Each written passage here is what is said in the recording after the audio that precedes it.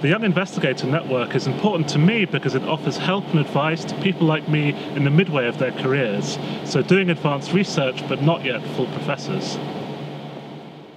My name is Tom Brown, and I am a Young Investigator Group leader here at the Institute for Automation and Applied Informatics. So, in my group, we're trying to uh, design the energy system so that we can meet everybody's energy needs, so electricity, heating, transport, while not emitting greenhouse gases that cause global warming. And so that means focusing on technologies like wind turbines and solar panels that don't emit greenhouse gases and making sure we can still supply the energy whenever people need it uh, and also at an affordable price.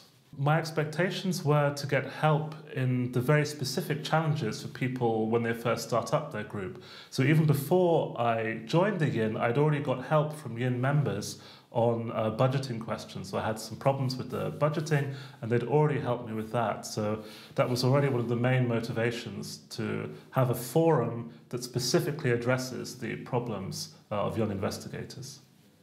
So the Young Investigator Group helps me very concretely uh, by offering me their experience with setting up the group. So I'm still in the phases of setting up the group, and they can offer me very valuable advice about how best to recruit people, how to deal with the budgeting, uh, and so on. So for me at the moment, there's a forum of exchange that's very valuable.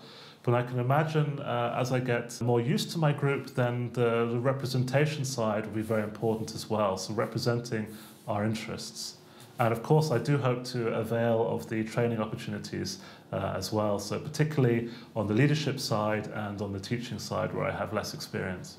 The, the Young Investigator Network can provide advice on how to get grants. It also has pots of money itself uh, for um, collaboration between the young investigator groups. And that's actually something I'm personally very interested in because I've already made contact with a meteorologist, so a, a weather scientist, about how to better represent uh, the weather in our modelling of the uh, energy system. And that would be the perfect thing for a YIN grant because it's interdisciplinary and bringing the young investigator groups together.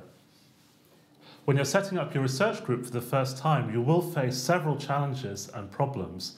And the Young Investigator Network is the right place for you to find answers to these questions and these problems.